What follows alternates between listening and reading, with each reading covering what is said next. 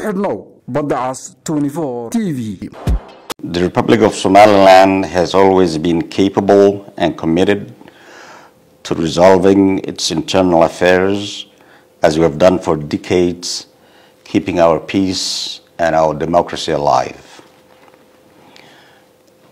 The government of Somaliland is confident that the current issue in Las Anod will be settled, as this is a priority for our government and its citizens. In order to protect and minimize civilian impact, and taking into consideration voices of our citizens as well as calls from our international partners. Earlier this morning, the National Army of the Republic of Somaliland retreated from the front lines to the designated military bases. The government of Somaliland is determined to prevent external groups from establishing a safe haven in Las Anod and demand that all forces, including militia groups and extremist groups, to immediately vacate the city of Las Anod. The National Army maintains restraints, however, it has the capacity to take all necessary steps to ensure the safety and integrity of our sovereignty.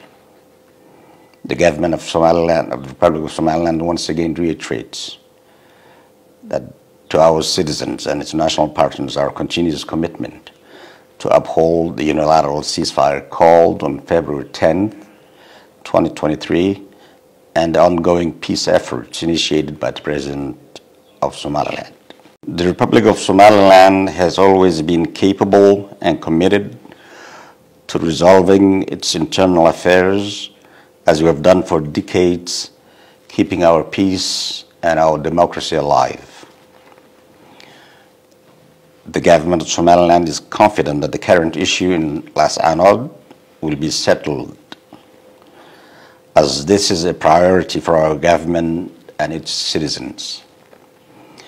In order to protect and minimize civilian impact, and taking into con- consideration voices of our citizens as well as calls from our international partners. Earlier this morning, the National Army of the Republic of Somaliland retreated from the front lines to the designated military bases.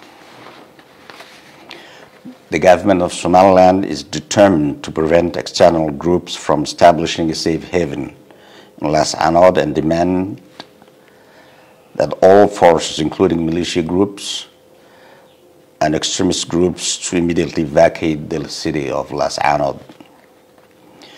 The National Army maintains restraints, however, it has the capacity to take all necessary steps to ensure the safety and integrity of our sovereignty. The government of Somaliland, of the Republic of Somaliland, once again reiterates that to our citizens and international partners our continuous commitment to uphold the unilateral ceasefire called on February 10th, 2023, and the ongoing peace efforts initiated by the President of Somaliland. Meel kasta iyo wakhti kasta. Badda cas 24 t v kala soco wararkii u dambeeyey ee soomaalida iyo caalamkaba. Isla xilliga ay dhacayaan. Badda cas 24 t v sidoo kale waxaad nagala socon kartaan barahayga bulshada sida facebook youtube iyo sidoo kale twitter. Si aad u noqoto qofka ugu horreeya ee daawado muuqaaladeeda aan soo gelino fadlan subscribe saar gambalaalka riiq barteeda youtube. Sidoo kale like iyo follow ku dhufo. Barteeda aan ku leenahay pageka cas 24 t v waa weelka waxa aad tabayso